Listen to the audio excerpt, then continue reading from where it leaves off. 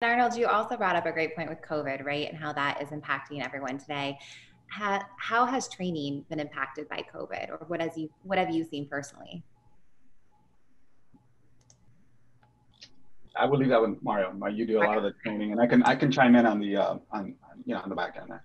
Yeah, sure. Um, well, the training has changed uh, quite a bit. Um, I think it goes really well with this idea of the, the OCM because it, you know we we all have to get used to um, working from home, being self motivated, um, juggling what it is that we're trying to do in our regular day to day lives with the stuff that we're being asked to do at work can be hard when your new office is your you know kitchen table. Um, so so for us uh, to to kind of balance the two um, it is a different uh, mentality. And um, again there's lots of great books in trying to figure out how to um, make up new habits um, how to go and uh, think of the different activities that we do um, to, so that you can keep motivated.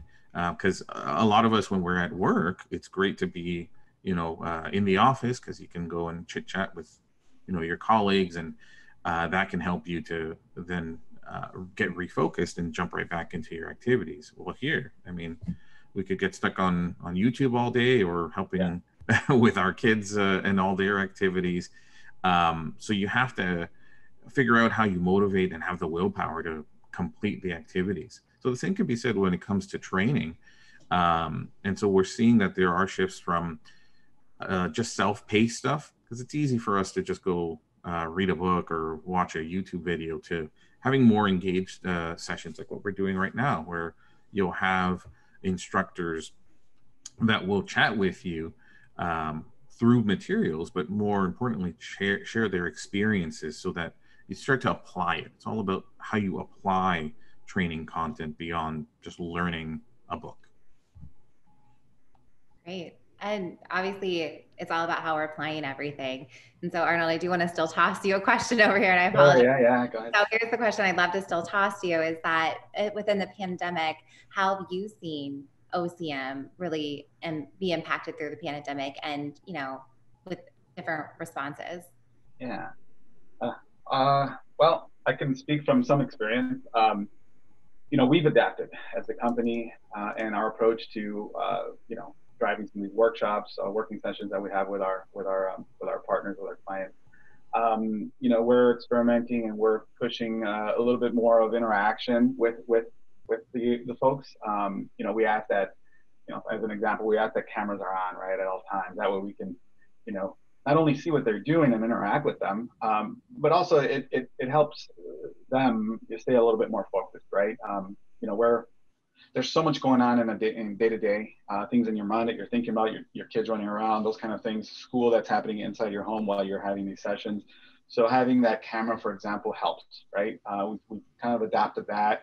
Um, some of some apps that we've actually worked on. Uh, there was one that one of my guys, one of my um, our consultants um, was working on in a workshop where it was uh, interactive, right? So everybody had a chance to participate, enter anonymous questions and answers, and again, you're getting that engagement from folks, right?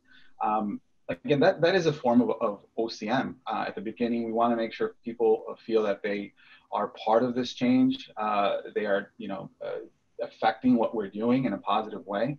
Uh, so those are the, the, unique things that we're doing. Uh, typically workshops or working workshops are, we were doing on, on site uh, where we'd have everybody there. We'd start off the day with coffee and stuff like that. And, you know, human interaction, right? Um, not so much uh, these days, right? So that's, that's what we're, we're adjusting to. And folks are adjusting as well at home um, with their day to day. I mean, I was on a call today where where uh, the, the, their child, you know, the classic, the child came into came into the room where she was actually presenting, and she's kind of freaking out. And it was it was a very simple, like, hey, it's fine, let it let it happen. I mean, this is the new kind of the new norm, right? That everybody's talking about.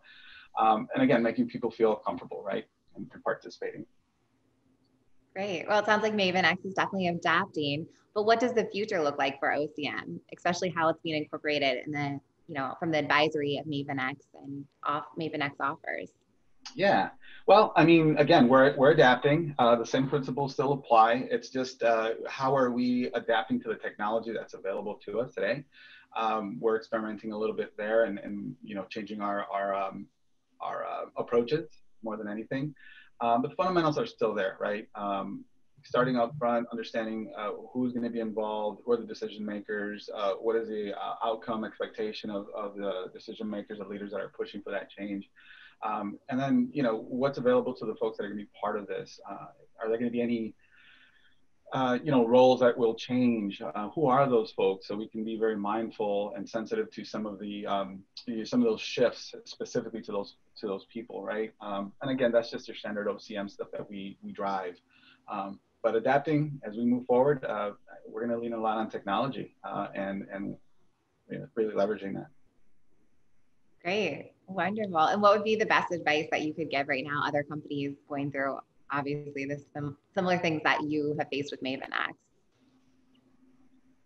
Well, I can be real simple and just say, uh, embrace the change, uh, try to enjoy, uh, enjoy it, and um, all the quirks that come along with it. Just embrace them, and have fun with it At the end of the day, we're all human and we're all just trying to, um, you know, strive to do good things and do, do better for the organizations we work for and the change that we have to implement. Um, and yeah, everybody's going through some challenges today, right? With not only just technology, but in their personal world with changes, you know, with their with their children, homeschooling, all that good stuff.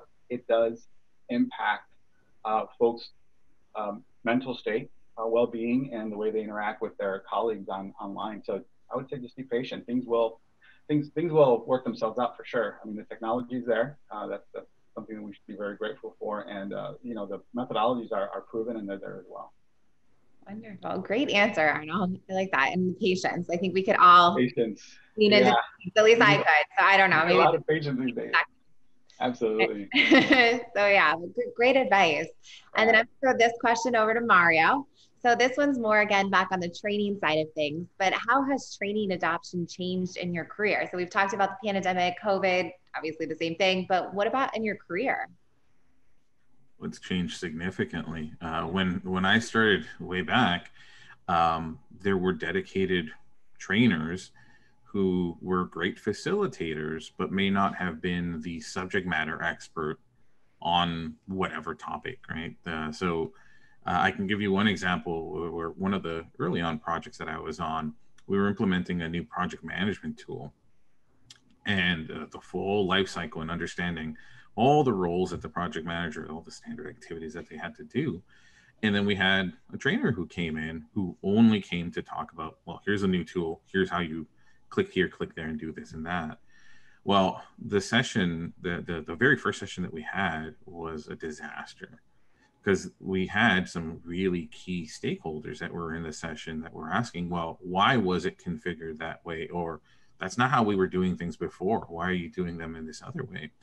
Um, so we had to actually stop. And I, I was the, you know, the uh, junior business systems analyst on, on, the project, but I had to take over. I stepped up and I chatted about, well, we we had uh, gone through all the requirements and this is the feedback and the consensus that we got from everyone and we started to apply it in this way and that way and so on. Um, and then we rebounded. So I ended up off of that first project uh, teaching over 200 project managers how to use uh, this shiny new tool, but also how to do their job, right? Like applying PM concepts, even though I was not a certified project manager, but I could put myself into their shoes and understand what it was they were trying to do. So the approach that I've been taking for River Horse has kind of gone with that same concept. It's not just about having a great facilitator who can go and read some slides to you, but rather has uh, the expertise ha- has been in your shoes and can then uh, apply that experience now in an education setting. So uh, my whole team, we don't call ourselves trainers; we're all education advisors because we want to help uh, your organization adopt, especially with all this idea of OCM who who better than someone who's actually been in your position? Right. Uh, if I can just jump in and say something, a bit of a shameless plug here for River Horse. Um, I mean, there's a reason why we're strategic partners, and, and I'm not just saying that. Uh, spot on what, what Mara just called out, uh, not just facility organizations where that's that's what's there, uh, facilitators, right? They took the test, and they're going to facilitate the, the, training, right?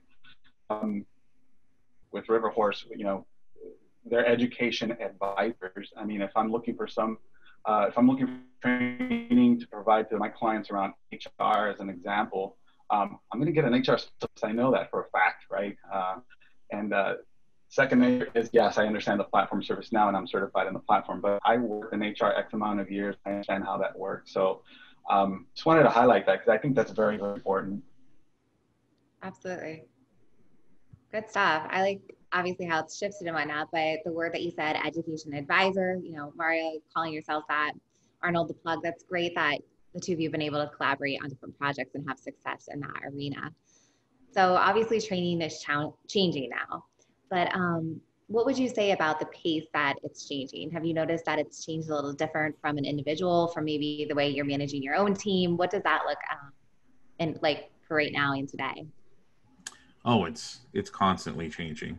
Um, when you look at the ServiceNow space, we're at a good 70 major applications uh, on the product, uh, you know, across 10 major product lines.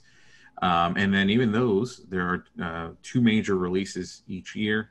So how it is that you work with just learning the technology is one thing. And then from there, how you start to apply your uh, various job functions, right? So a lot of us, you know, what Arnold was saying, will start off in the ITSM space.